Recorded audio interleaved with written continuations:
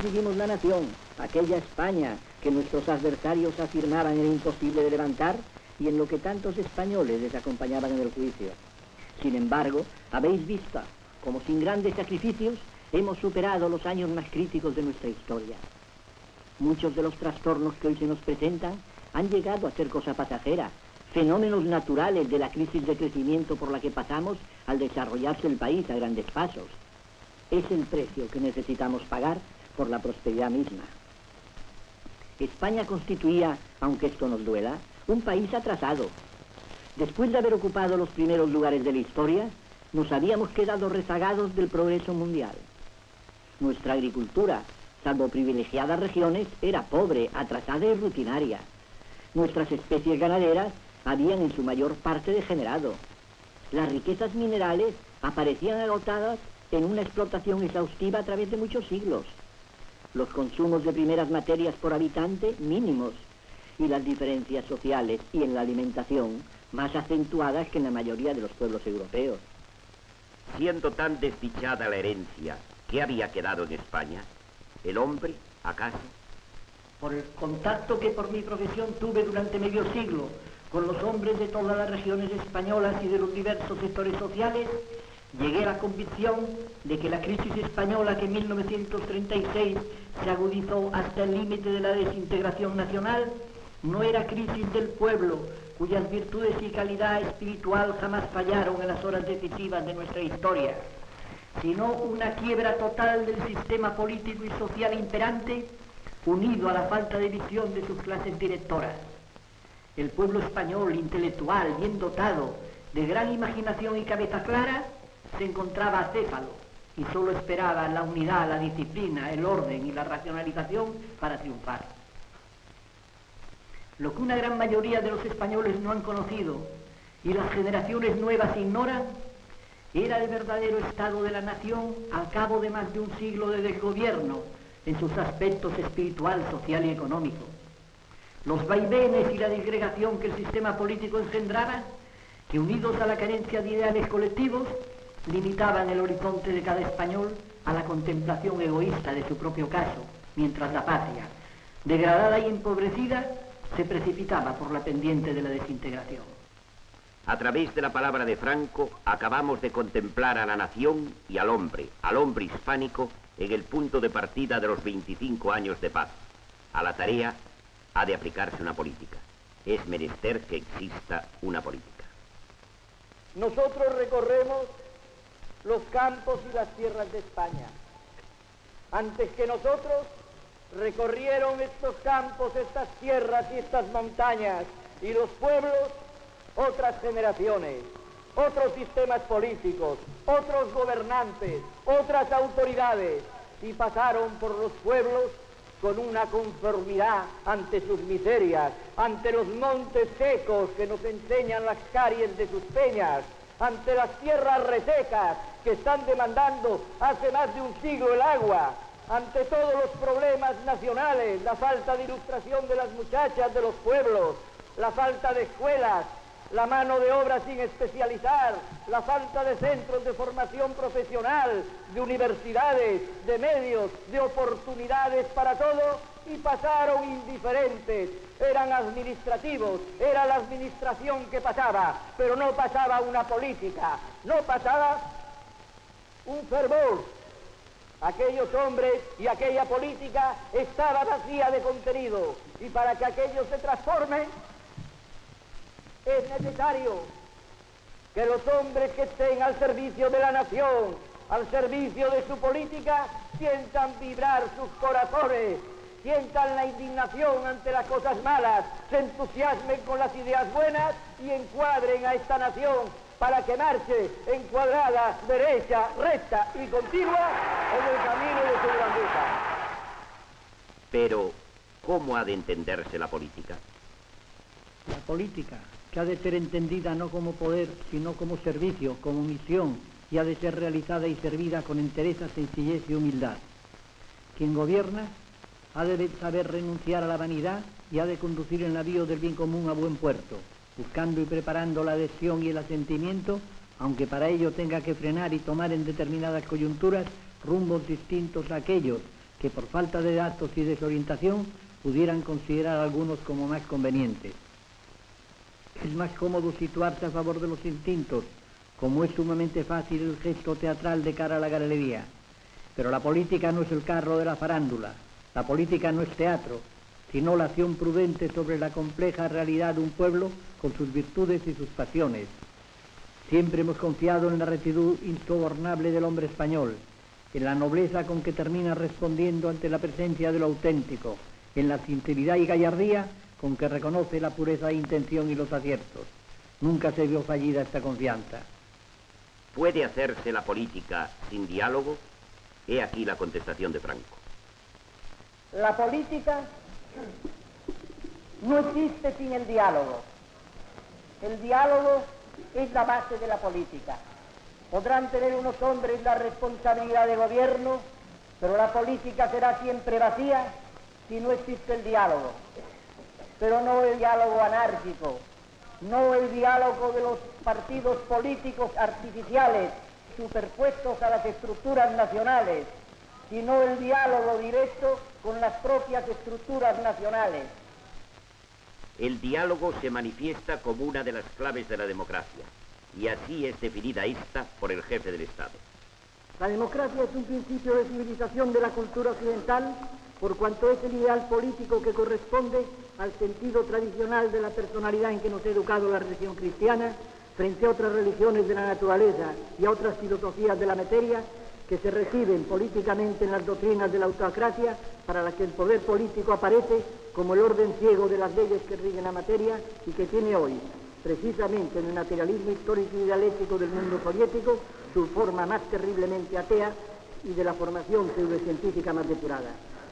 Pero la democracia no es ni puede ser una especie de código eterno de la política.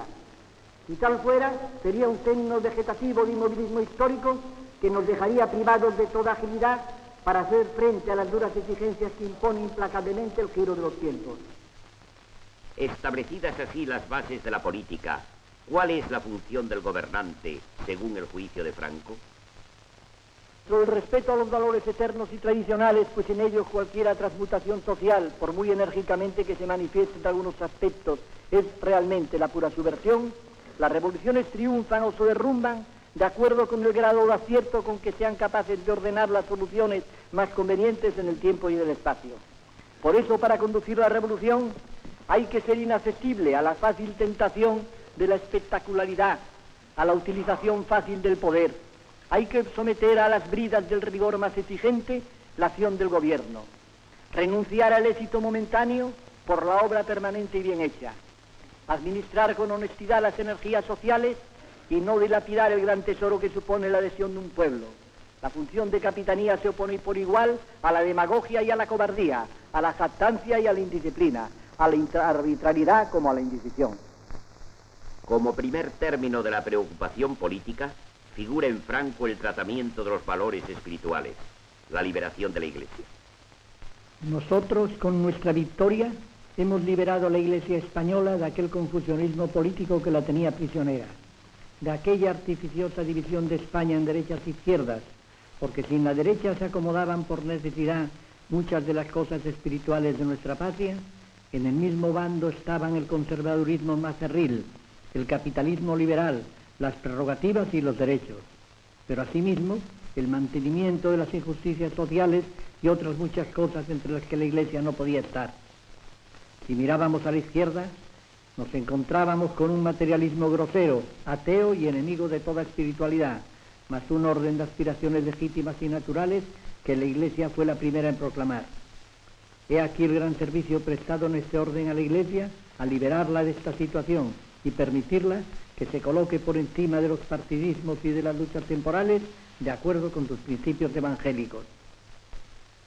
Desde el primer momento, Franco juzga preciso un cambio de las estructuras sociales españolas y al cabo de los 25 años lo acredita con las siguientes palabras.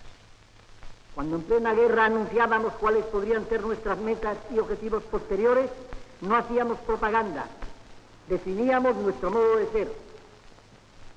Frente a los que presentaron al mundo el movimiento nacional como una pura reacción del mundo conservador contra los avances sociales, nosotros podemos hoy presentar una legislación compacta, armónica, positiva y aplicada, que demuestra del modo más decisivo nuestro auténtico afán de renovador y nuestra decidida voluntad de cambiar las estructuras antiguas de la sociedad española, modificándolas de acuerdo con una visión moderna y actual de la realidad social que puede imperar en el mundo.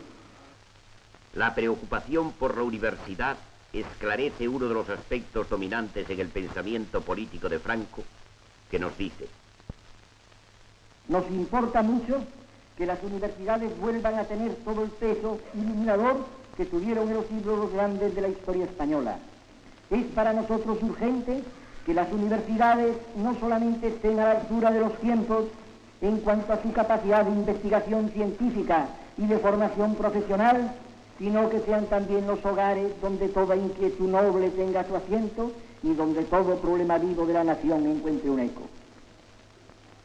Quisiéramos que de nuestras facultades de ciencia salieran hombres capaces de resolver el aprovechamiento creciente de las riquezas potenciales de nuestra patria y que cada vez más nombres españoles prolonguen la gloriosa aportación a la historia de la ciencia que con tanto amor nos reseñaba don Marcelino Méndez Pelayo y que al tiempo que la sangre española se siente caliente circular por el cuerpo de España, produzca en la universidad la floración de una constante primavera. No solo hacen falta los universitarios, también, subraya Franco, son indispensables los técnicos. Esto explicará a nuestros técnicos industriales y de todo orden por qué es nuestra inquietud de que en una nación pequeña como España podamos posar también nosotros en los 29 millones de españoles. Que no sea un sector privilegiado, el sector de los ricos, de los que pueden sostener una carrera costosa, los que puedan llegar a estas grandes realizaciones. Necesitamos mucho más. Necesitamos un ejército de técnicos, necesitamos organizar la técnica y necesitamos que las juventudes españolas se, se aficionen a todos estos estudios, llenen todos estos huecos que vuestras actividades empresariales están demandando cada día. Mientras se desenvuelven las viejas y gloriosas universidades al modo que les es tradicional, surgen nuevas instituciones de formación profesional.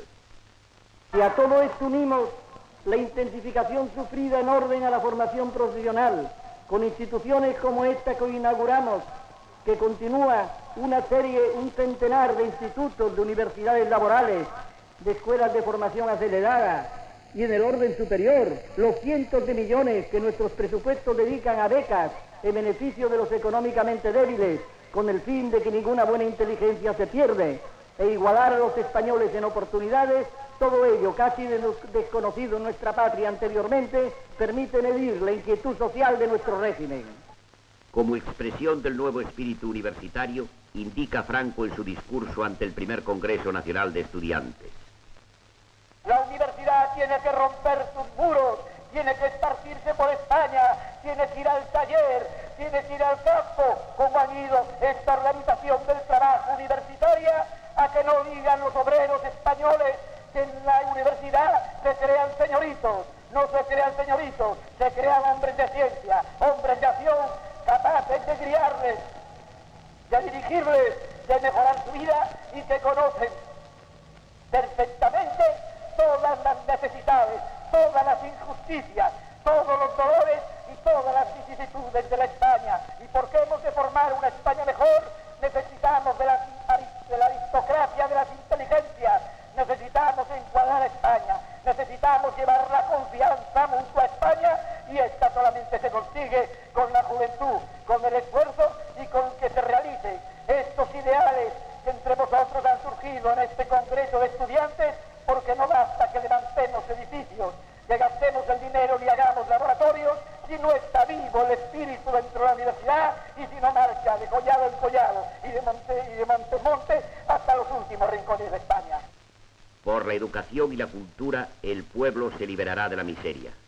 dice Franco.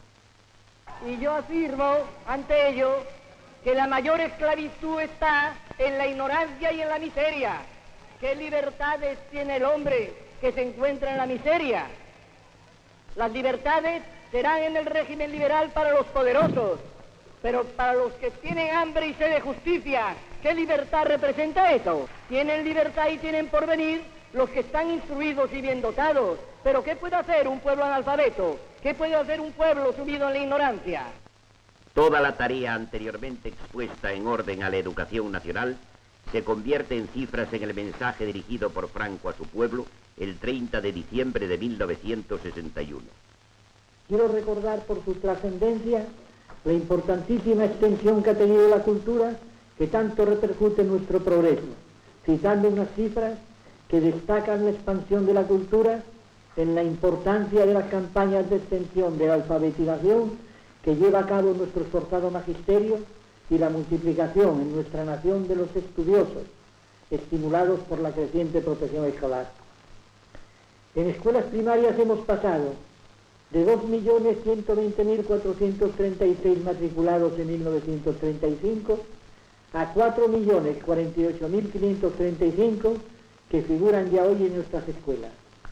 En enseñanza media, de 124.900 a 420.636 en 1959.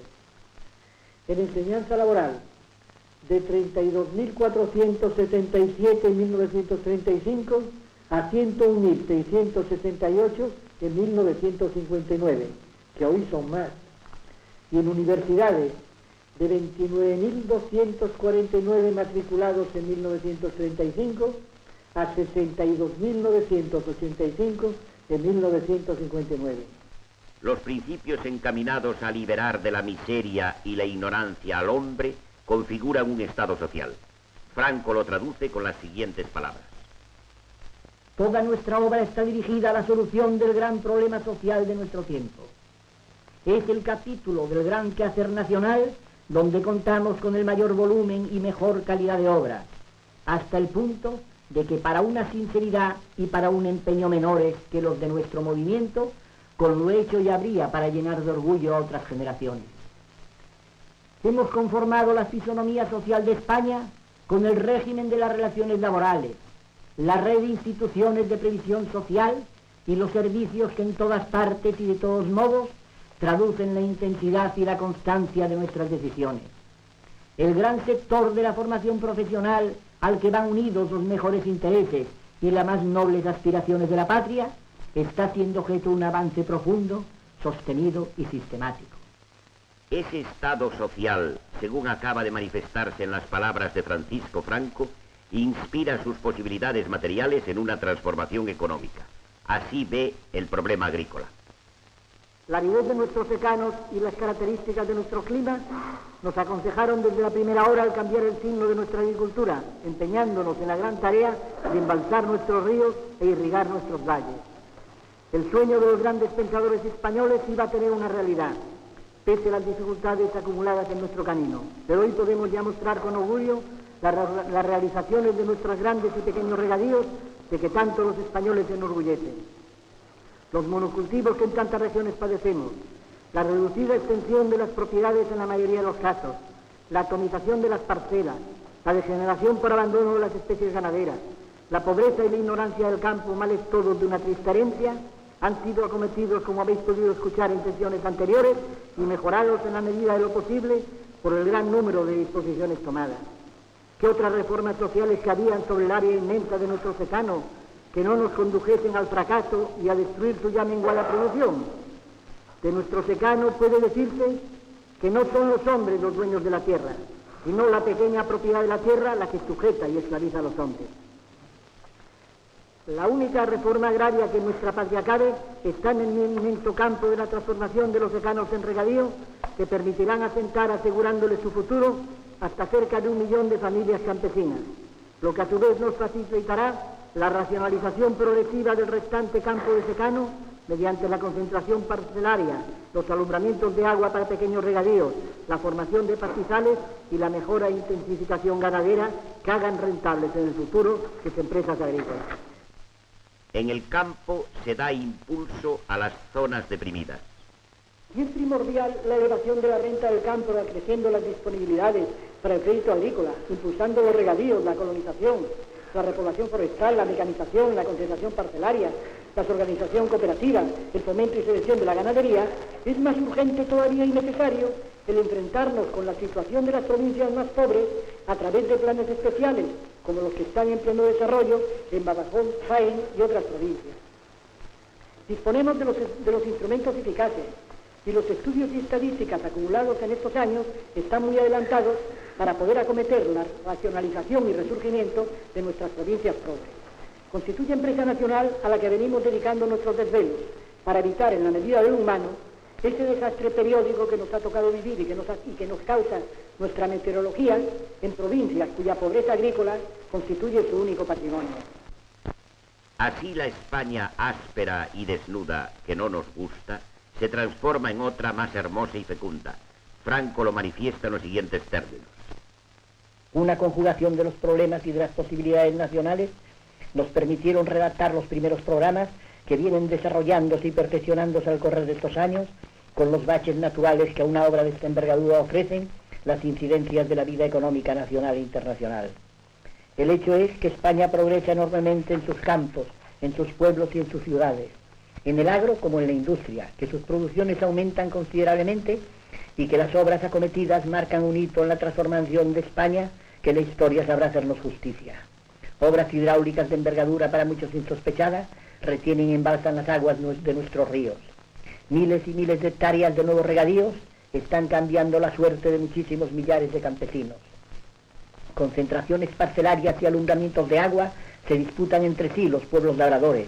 Las nuevas producciones de algodón, de tabaco, de quenaz y tantos otros cultivos antes exóticos extienden por nuestros valles sus alfombras de flores en las nuevas tierras regadas. Surgen pueblos alegres en los ricos valles españoles, entre cantos de paz y de esperanza, a los que se trasladan los excesos de población de aquellos viejos poblachos que apiñaban sus casas al pie de los castillos roqueros.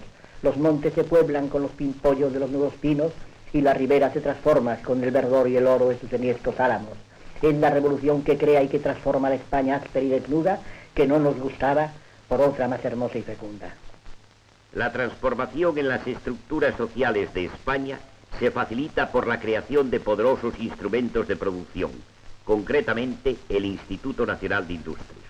Pero una revolución no le basta con una voluntad. necesita forzar sus instrumentos. No basta querer, hace falta poder. Y esta ha sido una de nuestras realizaciones, el Instituto Nacional de Industria. Surgió en el momento debido, surgió cuando todos los estímulos a la producción habían fracasado, cuando no nos bastaran las iniciativas particulares, surgió y se le hizo un eco de silencio, más tarde un eco de críticas, de egoísmo, de espíritus monopolísticos que mirando la rapidez de España se conformaran con un con que los españoles tuviéramos un hecho diferencial con el mundo de su consumo, no podíamos pensar en levantar a España, no podíamos pensar en cambiar la suerte de los españoles si nosotros nos conformáramos con que el español consumiese menos trigo, menos cemento, menos hierro, menos acero, menos de todo que todos los países europeos.